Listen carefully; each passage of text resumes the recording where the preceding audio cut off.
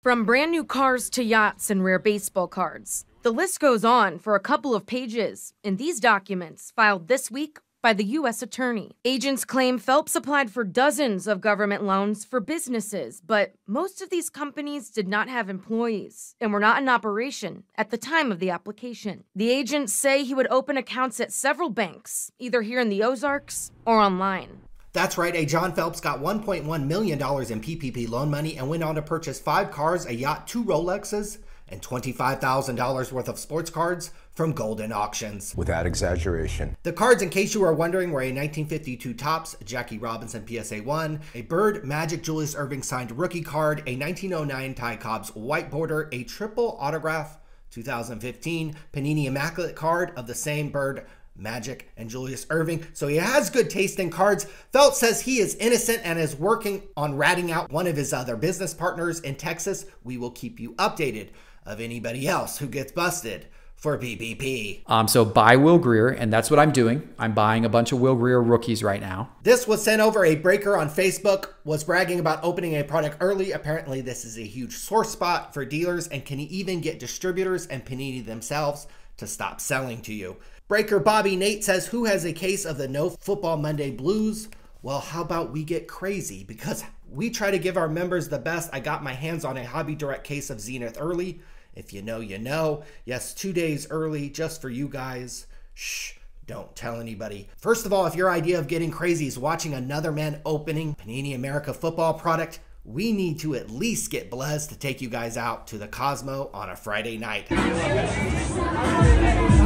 Secondly, anything that relies on honor and integrity in this industry, like sticking to release dates, get thrown out the window. That's just the unfortunate situation. Garbage. What we've seen lately is Fanatics allowing some breakers, like Backyard Breaks, and others to open product two days early or break it two days early before anybody else. Doing more to market their product is something card companies should have done for many years, but I guess when you sell out product for about the last 10 years, you can see why these companies aren't motivated to do that. One of the companies looking to cash in on the World Cup craze. Joining us here on set, Mark Warsop is CEO of sports memorabilia seller Panini America. Good to see you. Thanks for joining us. Speaking of backyard breaks, they posted this the other day. It appears breaks are being shown in the classroom.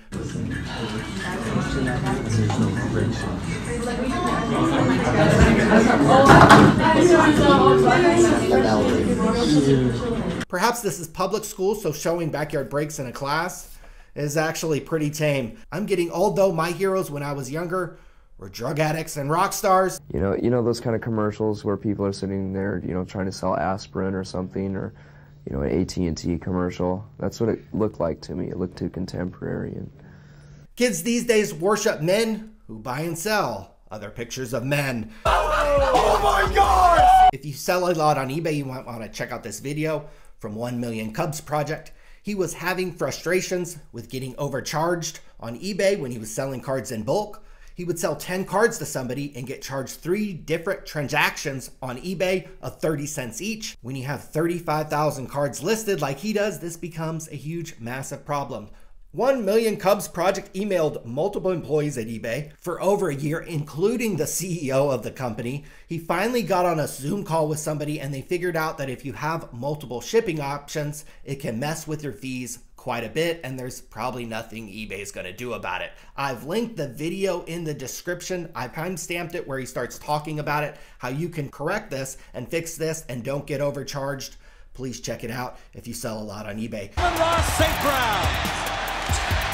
He had to battle for that last yard, and he made it happen. Not sure what is going on with receivers Amon-Ra St. Brown and his autograph. He's a really good receiver, so perhaps his hand just got tired from catching passes, but he's had a very consistent autograph for a number of years. But on a few of his contenders cards, you can see his autograph is very different. Could be nothing, could be just he was trying out like a little cursive style on a few of the stickers but he is a good player, just something to consider if you're after his cards. Hey Jason. Jeff, what's going on, man? Good to see you again. Thanks for coming. This building is huge. Hobby hero and PPP legend himself, Jeff Wilson, recently did a tour of ISA Grading, which is owned by Jason Koonce.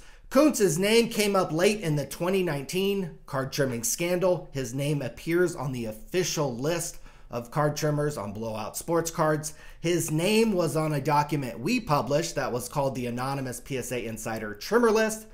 Koonce has stated publicly we have made him a lot of money over the years. I am not sure what he is referring to. Koonce is a buddy of Gary Vee. He deals with a lot of high end sports cards. So, a lot of people in this industry are not going to say anything bad about Jason Koonce, but just something to be aware of. This is a person connected to the card trimming scandal of 2019. He knows other people who trim and alter sports cards. He's owned this ISA grading company for quite a long time, but it just recently he's kind of started a marketing push, kind of using influencers. So it's kind of weird. Just something to keep an eye out for. Folks, let's end on a high note. At the Plymouth Meeting Mall in Pennsylvania, they have a sports card buffet, guys. This comes from Katie Kohler, who works for BetMGM. Literally, it appears this actually happened. An old buffet turned into a sports card store. Some interesting use of the old decor in the buffet. Definitely might be worth checking out if you're in that area. But, guys, until next time, everybody out there, spend your PPP money wisely, and we'll see you later. Yep, yep, yep.